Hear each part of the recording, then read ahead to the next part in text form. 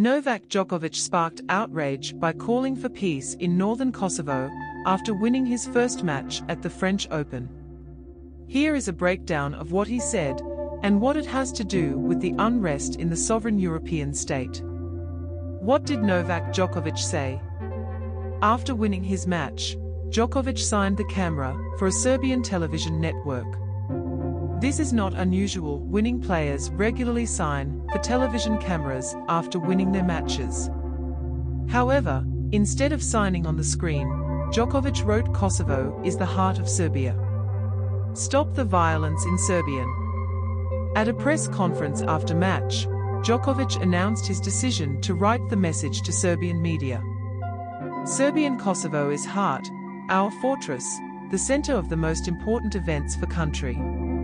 The greatest war took place there, the most important monasteries are there. There are many reasons why I wrote it on camera. Djokovic later reposted an of his signed message on his Instagram account. Why are people angry about this?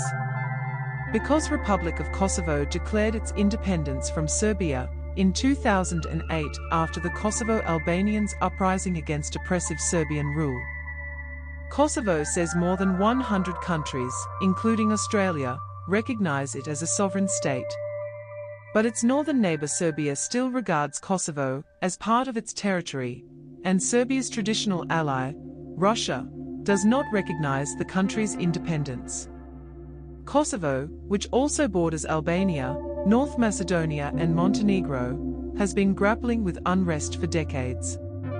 National Atlantic Treaty Organization forces have been conducting peacekeeping operations in the region since 1999. Petrit Selimi, Kosovo's former foreign minister, said that claiming Kosovo as the heart of Serbia is an unacceptable political, irredentist message.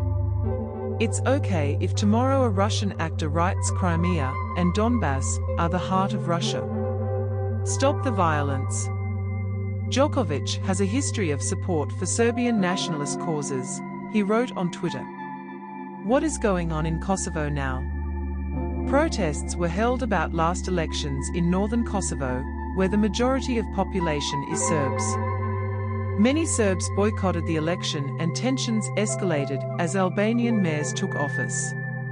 Serbian protesters demanded that the Kosovo government dismiss Albanian mayors and reinstate Serbian-funded leaders.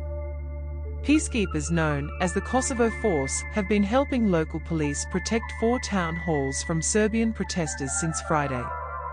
25 NATO peacekeepers have been wounded so far. KFOR said the soldiers received traumatic wounds along with fractures and burns after being attacked with incendiary devices by protesters in the town of Zvečan.